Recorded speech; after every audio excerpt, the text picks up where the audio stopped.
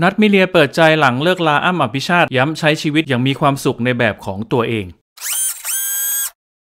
ท่ามกลางกำลังใจจากแฟนๆและคนรอบข้างอย่างล้นหลามนะครับนัดมีเรีย นักร้องและนักแสดงสาวมากความสามารถได้ออกมายอมรับ ถึงการเลิกลากับอดีตสามี พระเอกหนุ่มอ้ำอภิชาตินะครับพร้อมเผยปัจจุบัน เธอกำลังใช้ชีวิตอย่างมีความสุข โดยไม่ขอลงรายละเอียดเหตุผลของการเลิกลาแม้ต้องเผชิญกับช่วงเวลาสำคัญในชีวิต แต่นัดมีเรียยังคงแสดงถึงความเข้มแข็งผ่านโพสต์ให้กำลังใจตัวเอง และคำคมต่างๆ ที่สะท้อนถึงมุมมองเชิงบวกในชีวิต ล่าสุดฮะเธอก็ได้โพสต์ในสตอรี่ไอจีนะครับว่าเมื่ออายุมากขึ้นจึงค้นพบว่าหนทางเดียวของการอยู่อย่างมีความสุข คือการใช้ชีวิตให้ง่ายที่สุด และคาดหวังอะไรให้น้อยที่สุด ซึ่งแฟนๆต่างก็แสดงความชื่นชมในความแข็งแกร่ง และการมองโลกในแง่ดีของเธอนะฮะ ซึ่งพิสูจน์ว่านัทมีเรียกำลังก้าวไปข้างหน้าอย่างมั่นคง พร้อมย้ำให้เห็นถึงพลังของการรักและดูแลตัวเองในทุกสถานการณ์ ฝากกดไลค์กดแชร์กด subscribe ให้พีนิวด้วยนะครับ สวัสดีครับ